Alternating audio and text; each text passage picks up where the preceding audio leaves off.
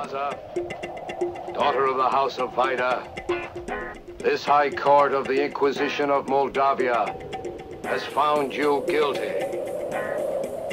I, as the second born of the Princess of Vajda, and as Grand Inquisitor, here condemn you, here condemn you, here condemn you, here condemn you, here condemn you,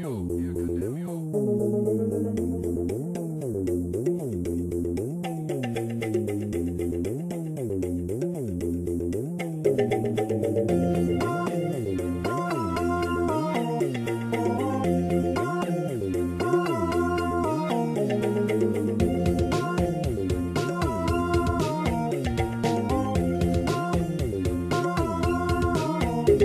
here, look.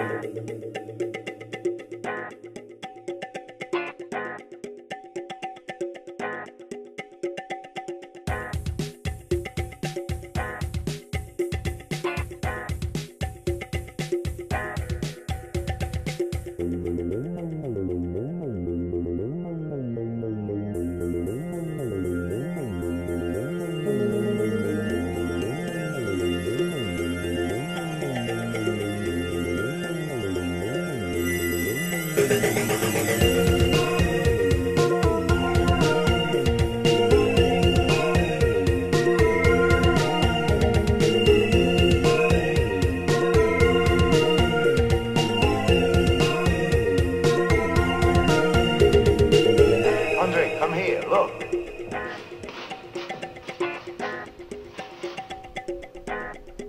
found the witch, you see? Face is enclosed in a bronze mask, and she wears for eternity. The true face, the face of Satan. Why is there a window? They fear that the witch might try to rise again, and uh, placed a cross visible to her to stop that happening.